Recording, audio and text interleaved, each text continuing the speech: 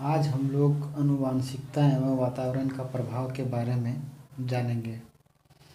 अनुसंगता का अर्थ है, एक पीढ़ी से दूसरे पीढ़ी में स्थानांतरण को, यानी शारीरिक और मानसिक, सामाजिक गुणों का स्थानांतरण एक पीढ़ी से दूसरे पीढ़ी में होना, अनुवांशिकता कहलाता है। अनुवांशिकता का प्रभाव, पहला नंबर हम लोग देखेंगे, शारीरिक लक्षणों पर क्या प्रभाव? पड़ता है। तो बालक के रंग, रूप, आकार, शारीरिक गठन, ऊंचाई इत्यादि के निर्धारण करने में अनुवांशिकता का प्रभाव देख सकते हैं। बालक के अनुवांशिक गुण उसकी वृद्धि एवं विकास को भी प्रभावित करता है। शारीरिक लक्षणों के वाहक, जीन, प्रखर अथवा प्रतिगामी दोनों प्रकार के हो सकते हैं। अब हम लोग देखेंगे बुद्धि पर क्या प्रभाव पड़ता है अनुवांशिकता का। तो जिस बालक के सीखने की गति अधिक होती है, उसका मानसिक विकास भी तीव्र गति से होता है। मंदबुद्धि माता पिता की संतान भी मंदबुद्धि होते हैं, ऐसा गोडार्ड का कहना है। चरित्र पर भी अनुवांशिकता का प्रभाव पड़ता है।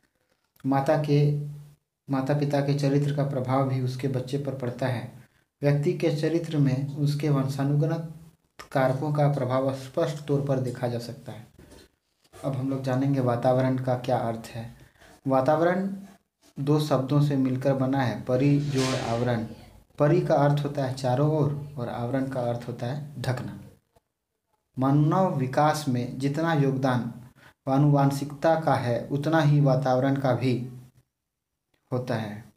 वातावरण का प्रभाव टॉपिक है, इसके अंदर हम लोग देखेंगे शारीरिक अंतर का क्या प्रभाव पड़ता है।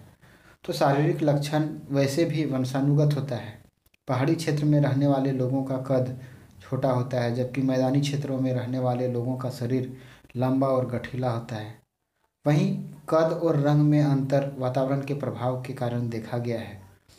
प्रजाति की श्रेष्ठता पर भी वातावरण का प्रभाव पड़ता है। बौद्धिक श्रेष्ठता के कारण वंशानुगत न होकर वातावरणीय होता है। शैक्षिक, सांस्कृतिक एवं सामाजिक वातावरण उपलब्ध न हो तो उसका अपने पिता की तरह महान बनना संभव नहीं हो पाएगा। व्यक्ति के ऊपर भी वातावरण का प्रभाव पड़ता है। वंशानुग्रह क्रम की अपेक्षा वातावरण का अधिक प्रभाव पड़ता है व्यक्ति के निर्माण में।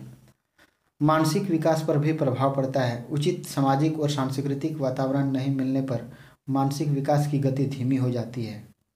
वहीं बालक पर बहुमुखी प्रभाव पड़ता है वातावरण का। जैसे इनके शारीरिक, मानसिक, सामाजिक, संवेगात्मक आदि सभी अंगों पर प्रभाव पड़ता है। वातावरण संबंधी क्या कारक है? ये टॉपिक देखेंगे हम लोग। वातावरण एक बहुआयामी संकल्पना है। यह व्यक्ति को जन्म से लेकर मृत्यु तक प्रभावित करती है।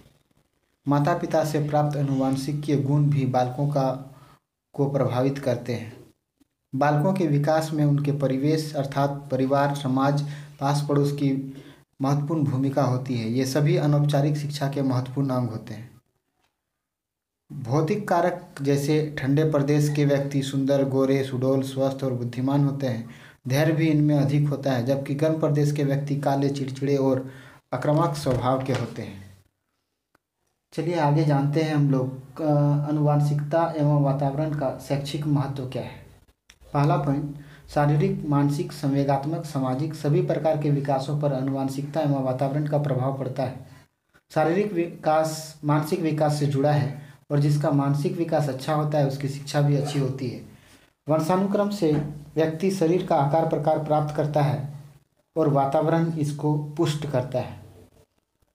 विद्यालय में कई प्रकार की अनुशासनहीनता दिखाई पड़ती है, जैसे परिवार का परिवेश ही नहीं, काफ़ी हद तक वंशानुक्रम भी जिम्मेदार होता है।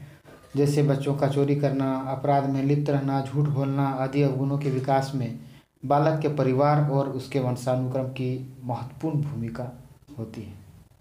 धन्यवाद। इस तरह से बाल विकास के अंतर्गत हम लोगों का तीसरा चैप्टर, अनुवांशिकता एवं वातावरण का प्रभाव का रिवीजन ख़त्म होता है। टॉपिक इनसे बाहर नहीं रहेंगे। ये मेरी पूर्ण कोशिश है और दृढ़ विश्वास भी है कि टॉपिक यहाँ से बाहर नहीं होगा। बाकी इसका जो नेक्स्ट वीडियो होगा, अध्याय फोर का, ये जल्दी ही मैं अपलोड करूँगा। धन्यवाद वन अगेन